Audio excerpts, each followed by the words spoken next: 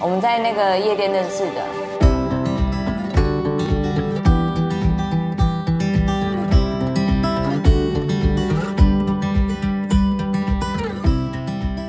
然后那天是我的朋友生日，然后他问我，他走过来就问我说：“你们要不要那个蛋糕？”然后后来就他就去托人买的那个蛋糕，但是蛋糕夜店又带不进来，所以他就拿那个便利商店的那种，那叫什么？杯子蛋糕，嘿，杯子蛋糕一个一个的那个，就是拿拿给我这样子，然后后来我以为他是我那个朋友的朋友，所以那天我们就在旁边一直在聊天，然后喝酒，然后然后他就跟我要赖，我就给他了。小姐可以跟你要个赖吗？可以，好，来你扫我。好，隔天的时候我就问他说：“哦，你是那个莎莎的朋友？”然后他就问我说：“莎莎是谁？”这样，然后我们就啊，原来是我们误会误会误我误会他是我朋友的朋友。嗯，对然后我完全不认识。对我那张拿一张所以你的那个所以名片给你。小姐，这是我的名片，不要拒绝。哎哎，是这样子吗？不好要赖要赖。那时候我很害羞啊，其实我一直想跟他联络，可是心中无限澎湃，可是却讲不出半点话，就就又又又害羞又不好意思啊。哦对啊，毕竟遇到女神嘛，总是有点。你很浮夸。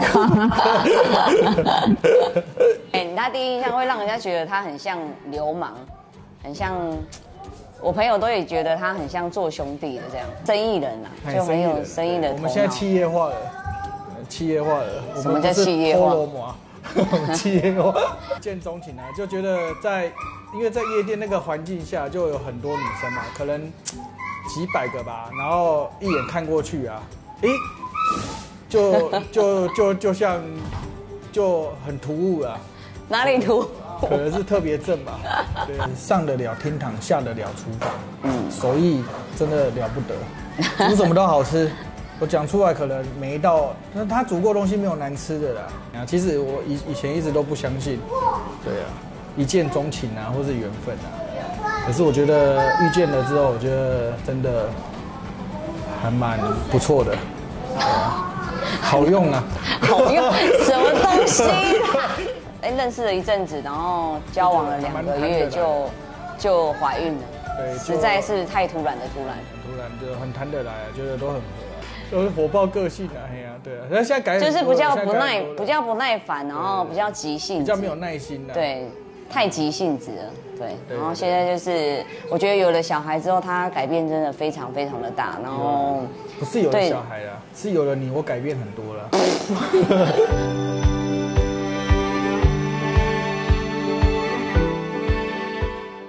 是老大老大。围棋，围棋，你叫什么名字？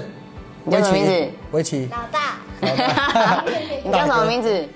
围棋围棋。那你呢，宝贝？大姐，啊？啊，大姐，大姐。丽妍。丽妍，东班桥，东班棒，东班队伍最胆量，能文能文小画家，活泼可爱。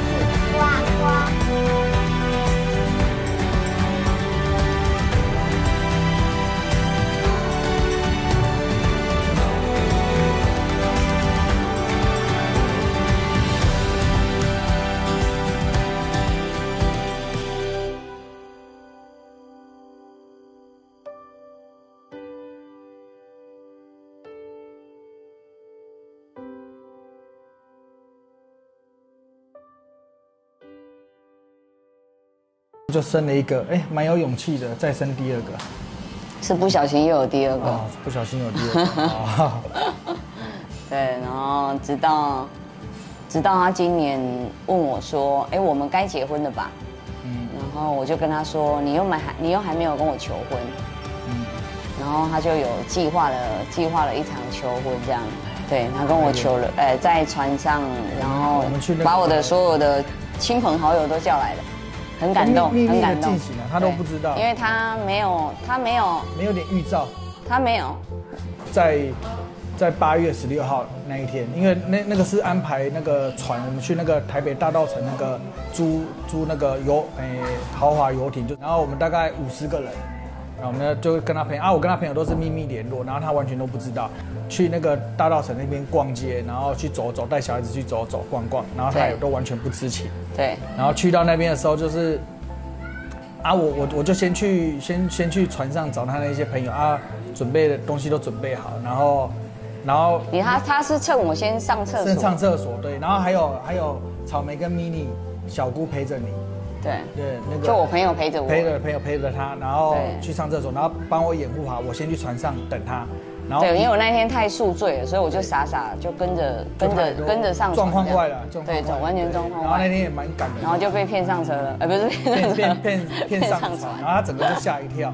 那天求婚就就有成功，哎，就他就有就有惊艳到，对，对，就唯一呃第一次认识他这么久，算浪漫。最最浪漫的一次，对，谢谢你，然后这么现这么疼我，然后会给我很多很多的惊喜，然后希望给你很多很多的爱，对给我很多的爱，嗯，我怎么觉得有点违心？满满的爱。我应该我应该猜得到你想要说什么，可是不讲太那个。因为我老公是一个性欲非常非常强每天都能满足我。对，他的最大的愿望就是我都是希望我每天都可以满足他，但是我做不到。那那我们我们登记完，你还会跟现在一样吗？当然不会一样啊，一定是为什么更好的啊。真的吗？当然啊，真的哦、嗯，嗯人生就应该这么幸福。嗯，我们就白头偕老，执子之手，与子偕老。嗯，对，那看着小孩成长，我们以后老的时候，做阿公阿妈带着孙子，到处跑跑闹闹。